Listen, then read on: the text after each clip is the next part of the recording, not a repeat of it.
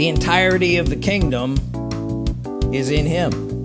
The entirety of your life and success is in him. In him who? Holy Ghost. Holy Ghost, your God in the earth today. Holy Ghost, your God in the earth today. the Holy Ghost is God in the earth today. And you walk with him by saying words my name is Andrew Hemstrought thank you for joining us. If this is your first time here make sure you subscribe. If this is not your first time here and these messages are blessing you then consider becoming a partner with us. I'm called to preach on certain things. Can you hear that? Those words that I'm preaching will take you someplace. Many will be offended by the words that I'm about to say but many more will be blessed. Say many more, Many more will be blessed. will be blessed. but these words do something to you. Colossians chapter 4 verse 3 with all praying also for us that God would open unto us a door of utterance. Open up a door do you understand what a door is? Something you might open up. And if you open it up you can then go through it. If the door is not opened can you go through it? No. So he's saying with all praying right? Let me read it again. With all praying also for us that God would open unto us a door of utterance. What is this door therefore made of words because he, words that are uttered. He's going to utter some words that will open a door that you can go through. We still here? Yes. that God would open to us a door of utterance. Verse 4 that I may make it manifest as I ought to speak. What's going to be made manifest? The door that you can walk through. It's a mystery to some but tonight as I speak these words the mystery will, will no longer be a mystery to you and you'll be able to walk through that door. Now like I said I'm called to preach on certain things and those words will do something to you and it will enable you to go someplace that you couldn't go before. You've walked through a door. So the Holy Ghost he is God in the earth today and you walk with him by saying words. But I've been sent here by God to bring you this message. I am a sent one. Well well yourself. I am a sent one. I know who I am. I know what God's called me to do. A lot of people don't so they flounder around in it. Deal with it. I didn't make this up. I didn't sit in my room try to figure out some kind of newfangled thing to come up with. I was given this message and I've been given these words from heaven. And like Paul I will not be disobedient to the heavenly vision. And if you will hear me this evening then the words I say will take you there. So the Holy Ghost is God. And if you knew him as God you would worship him those words are foreign to a lot of people. Worship the Holy Ghost. They've never heard it before. You say it to them they automatically think it's wrong. Well the Holy Ghost is God and if you don't think he is God then it makes sense that you don't worship him right? Because if he is God you'd worship him. If if your thinking is that he isn't God somehow then you wouldn't worship him. That makes sense. Mm-hmm. Right mm-hmm. The number one reason why you might not be worshiping the Holy Ghost is because you think it might offend God. Think about that for a second. You think that if you worship the Holy Ghost or use the words I worship you Holy Ghost somehow you might offend God. Is this right? Yes. If I use the words I worship you Holy Ghost and I'm worshiping the Holy Ghost I worship you Holy Ghost somehow I might offend God. Then you don't know him as God. That's right. get over it. That's the fact Jack. If you're afraid that if you worship the Holy Ghost you're going to offend God then you don't know the Holy Ghost as God. Because if you knew him as God you would worship him. So I would say from years of doing this that's the number one reason. People are afraid that they might offend God by worshiping the Holy Ghost which means you don't know him as God.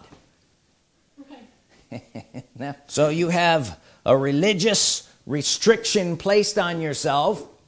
He didn't place it there. He's God. He didn't say you couldn't worship him. Right? You're, you're restrained by your own religious thinking so the proof that you don't know him as God is you don't worship him. And if you don't worship him you can't go to the place say the place The place. that worship will take you to. Mm-hmm. Does this make sense? Mm-hmm. Because there's a place and that's where I'm going to be talking about a lot tonight. There's a place say a place Place. That worshiping God will take you to and it's a place listen that requires you to worship him before he opens that door to you. If you don't worship him you can't come in. If you do worship him the door opens and you get to go in. Mm-hmm. Say I get to go in. I get to go in. If you don't worship him you can't go to the place that worship brings you to a place that I like to call the room of Holy Ghost worship. Now I've preached on this before many messages on it. It's a room that you go into when you begin worshiping the Holy Ghost and you know him as God. Well I would never worship him as God well you don't know him as God are you here? And then when you start to worship him as God you start to know him as God and all of the things are opened up to you that are in that space in that place and in that room. There's an entire kingdom in that room. There's an entire kingdom in that room that he is Lord over he's God. You worship him and in his room. Say in his room, it's not my room. I'm not making this up. I'm going to show you by the scriptures. This is his room and in that room is an entire kingdom filled with all of his stuff. He's Lord over that room. I'm telling you right? There's an entire kingdom in here. In where? In this room that I'm in what room? The room of worshiping the Holy Ghost as the living God. There's an entire kingdom in this room. It's vast. It's expansive. I know some people might think room and you think you know like a like a closet or something. But there's an entire kingdom in this place but you don't know it. How do I know you don't know it? Because you don't worship him most people prefer to spend their time playing around out there with the religious thinking the religious thoughts the religious ideas and don't dare come in here. Mm-hmm. Now Jesus remember him? Mm-hmm. Jesus talked about the kingdom of God. He preached about the kingdom of God. He didn't say the kingdom of me did he when he was there he was preaching about the kingdom of God. It wasn't his kingdom. It was the kingdom of God that he was trying to get people to go into. Right? Yes. Luke 4 43 and he said unto them I must preach the kingdom of God to other cities also for therefore am I sent. Why was Jesus sent to preach the kingdom of God. Jesus preached the kingdom of God and that was why he was sent to preach the kingdom of God. And he spoke about the Holy Ghost which was to come. John chapter 7 let's look at verse 39 but this spake he of the Spirit which they that believe on him should in the future receive for the Holy Ghost was not yet given because Jesus was not yet glorified. Mm-hmm. So he was preaching about the kingdom of God and he was saying the Holy Ghost was on his way. Say the Holy Ghost, Holy Ghost was on his way. on his way. Do you suppose this had anything to do with the kingdom of God that Jesus was preaching all the time? Yeah. The kingdom of God say of God. God, say of God. God, say of God. God, the kingdom of God the Holy Ghost. It's the kingdom of the Holy Ghost.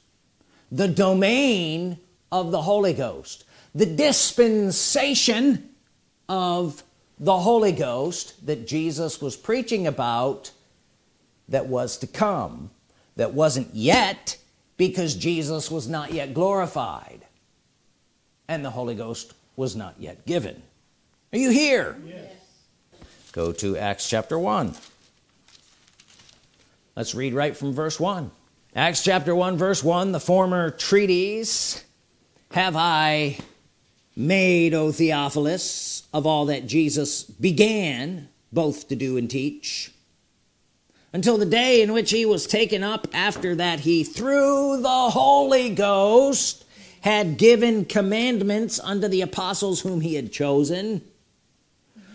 Verse 3 to whom also he showed himself alive after his passion by many infallible proofs being seen of them 40 days and speaking of the things pertaining to the kingdom of God. Say speaking speaking of the things of the things pertaining to pertaining to the kingdom of God.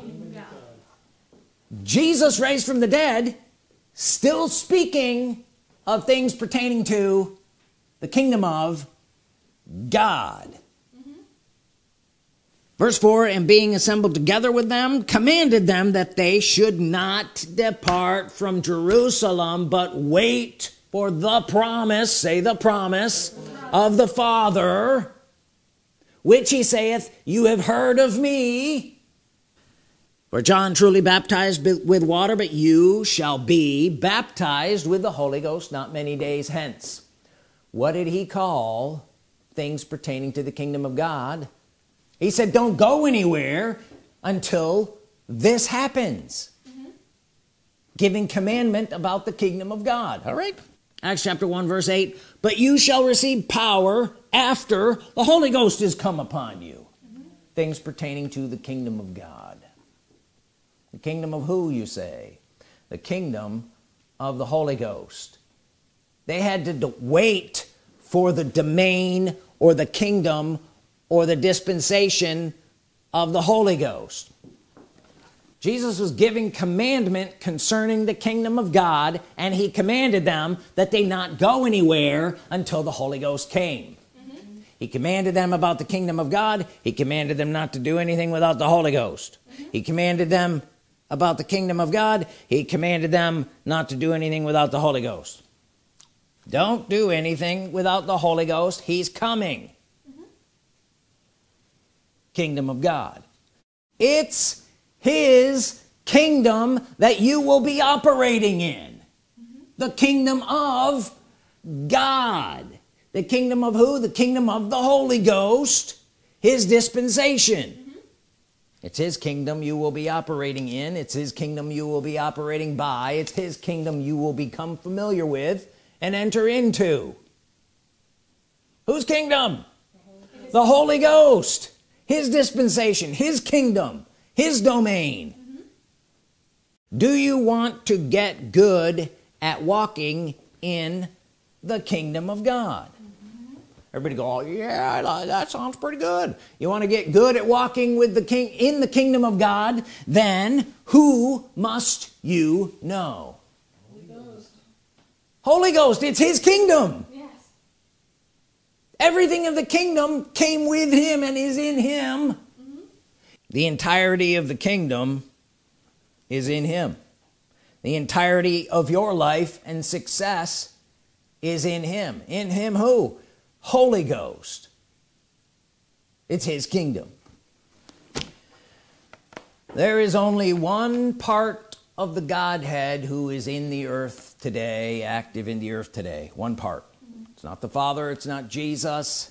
Jesus will return. Have I preached on this? Mm-hmm. So much. But people are only hearing this many for the first time because their ears are being opened.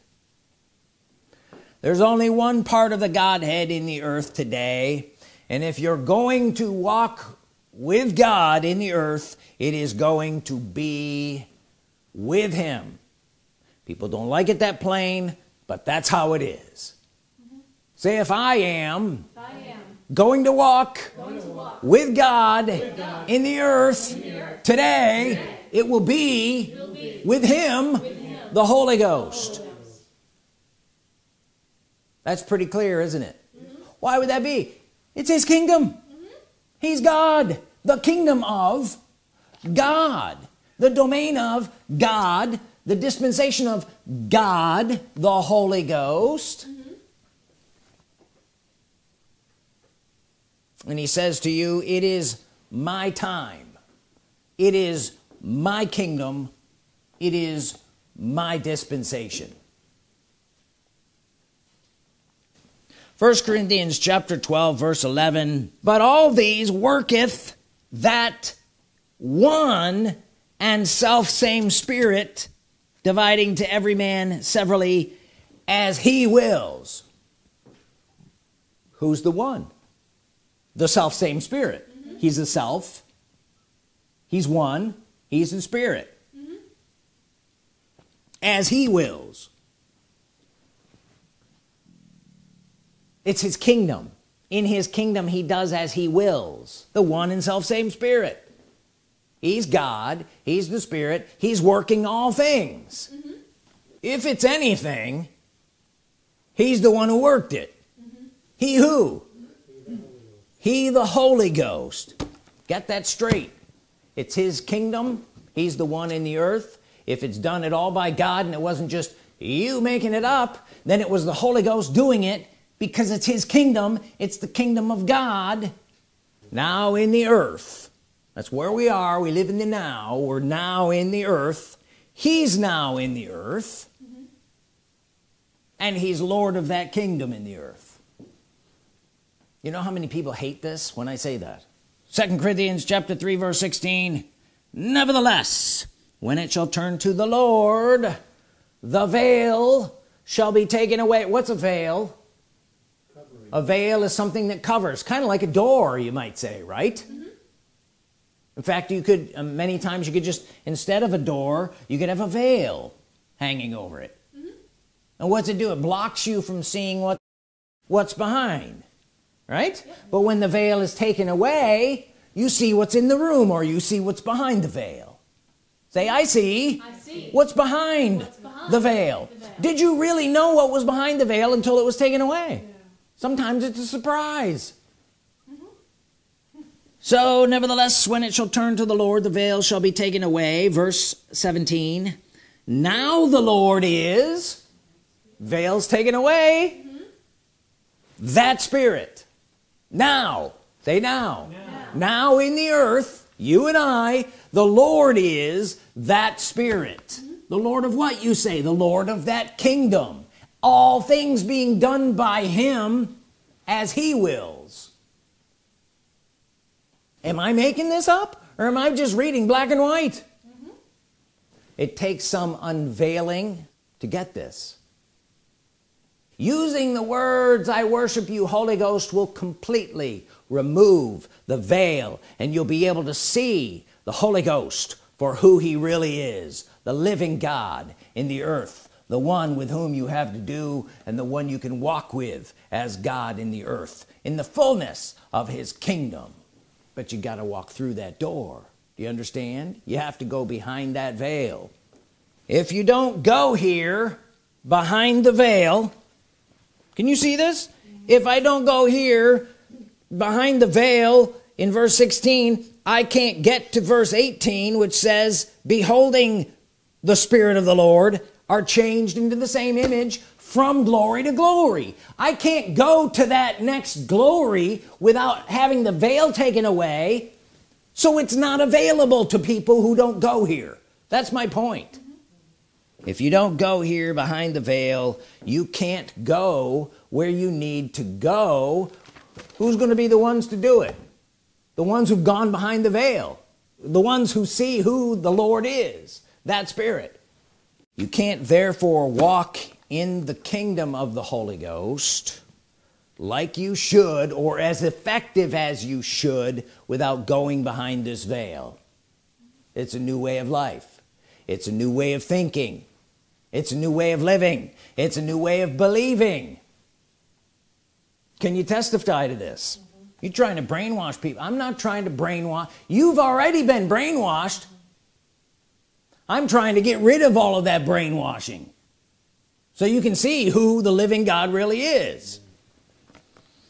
You've been brainwashed already into thinking something else. That's why you get mad at me. But regardless of your situation. Holy Ghost wanted me to say this to you.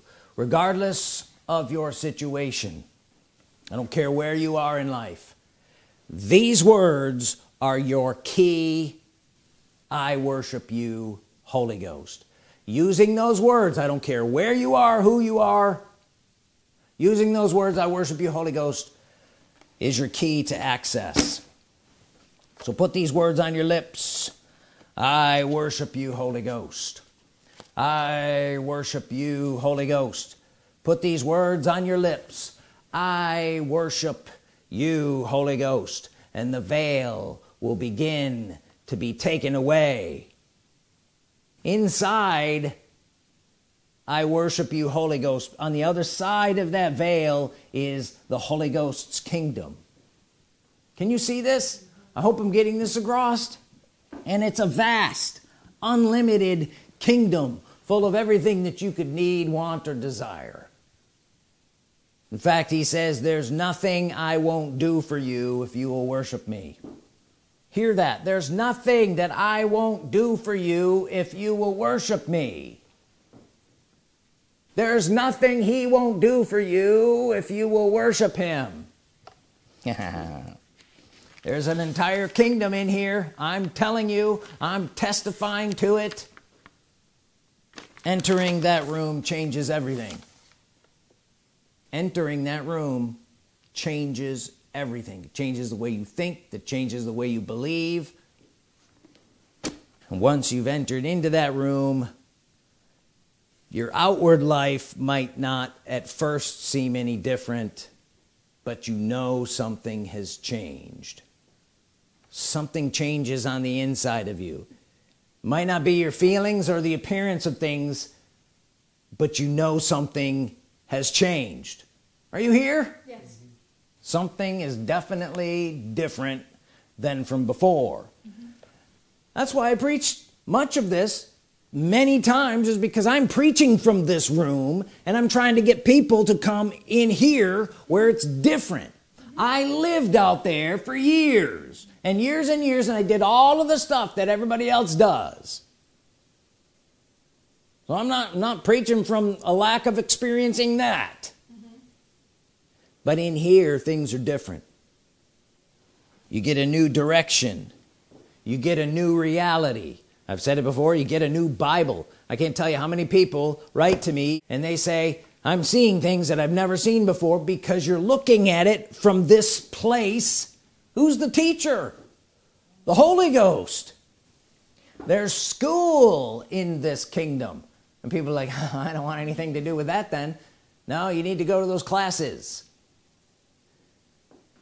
One of the things that happens to you once you come in here and you one of the things you realize is that you can't go back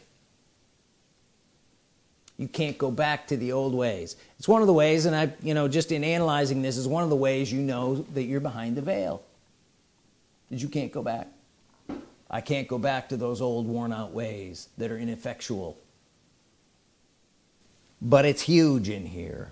There is a vast kingdom of God. It's literally the kingdom of God. It's the kingdom of the Holy Ghost. It's vast. It's unending Romans chapter 14 let's look at verse 17 for the what?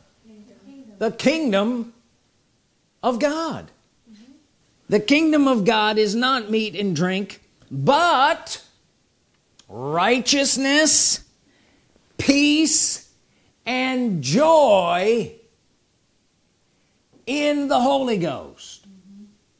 The kingdom of God is in the Holy Ghost say the kingdom of God, Kingdom of God is in is in the Holy Ghost. Holy Ghost.